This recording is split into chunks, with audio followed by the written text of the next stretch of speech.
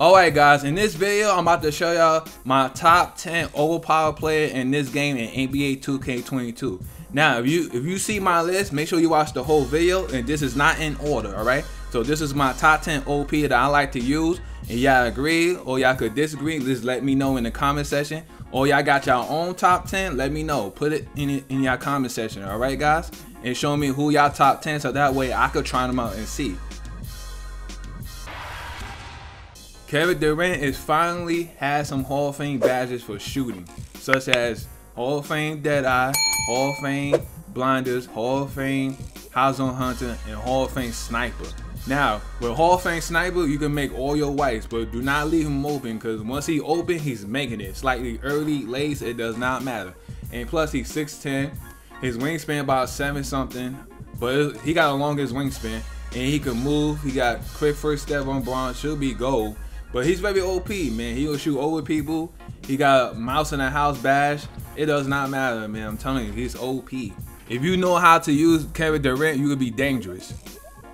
Okay, next we got Kareem Abdul-Jabbar, the master of the sky hook. This guy right here is so OP, especially in tier 3. They had this team at tier 3, and the only closest chance could really slow him down is Wilt Chamberlain. Everybody else, you cannot slow this man down. He will drop 30, 40, 50 points on your head.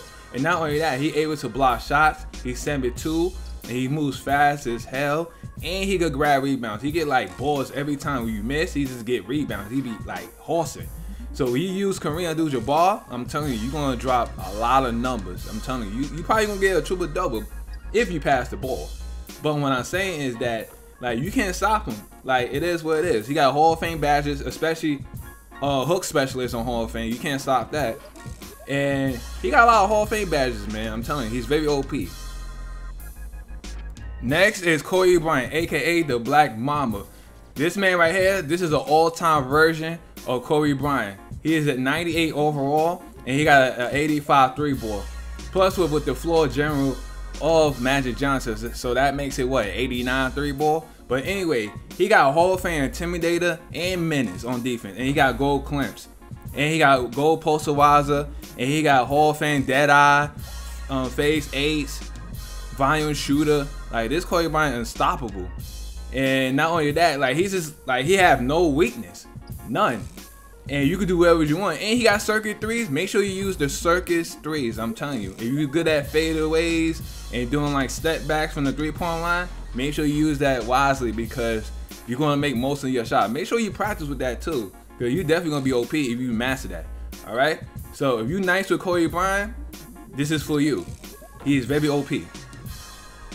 Oh, y'all thought I forgot about Stephen Curry. You know this man's OP. Everybody talking about this man's OP every year. But this time, since the shooting is very easy, he got 99 three ball, 99 mid range. He got gold sniper, mismatch. He got Hall of Fame blinders, dead eye, chef, and limited spot up. This man right here, if you had no defense, like like Trae Young right there, he's gonna cook you every time. You could drop like 30 or 40 points with this man. So, like I said, make sure you use circus threes and go crazy with it. Alright, next up is Luka Doncic. This man right here is very OP because he is a scary matchup against any small point guard in this league today. And they under like what, six seven? So most of the time they're gonna have a hard time guarding this man because he is so lethal with his shooting, his playmaking. He got a goal, quick first step. Like it's really hard to stop this man. And he can shoot, break ankles. He can move, and he got mismatch expert. Like, what can you do? Like, this man right here is a guard at the point guard. You gotta put like a different matchup, otherwise you in trouble.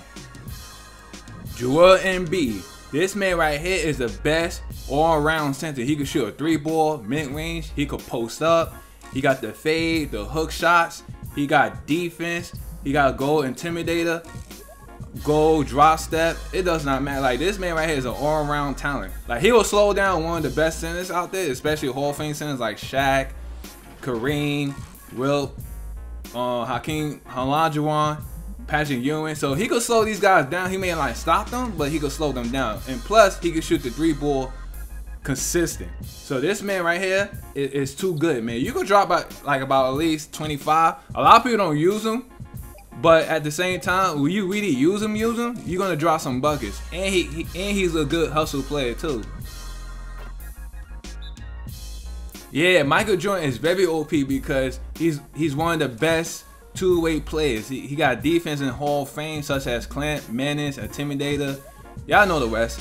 And then on finishing, he got Hall of Fame Posterizer, Limitless Takeoff. Like this man, Michael Jordan, the GOAT, is too OP, man, and he's annoying to deal with. I'm telling this right now. If you play with him, you could drop like at least 50. Like Jordan's like he had no weakness. He can shoot a three ball. His three ball is like an 89 with the floor general like a 90. But this is the all-time Chicago Bulls Michael Jordan. But any Michael Jordan version is OP, except the, the except the 85 rookie Michael Jordan. Nobody cares about that, but everybody knows Michael Jordan's OP. Is it that I don't see a lot of people using Michael Jordan, which is disappointing. I don't know why, but you could do like fadeaways with Michael Jordan, which he's known for. And this time they really counts.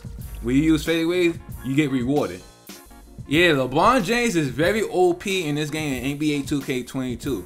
Like he has no weakness either, and he's strong. I think his strength is like a 90, but he's fast and he's strong. He could jump and he could dunk on people anytime he feel like it. He got Hall of Fame Posterizer. You know, you know what time it is. And he got Hall of Fame Limitless Takeoff. This man is really hard to guard, and he got Chef and Limited Spotter. So he can shoot like a long distance. This is the best version of LeBron James in real life in Miami.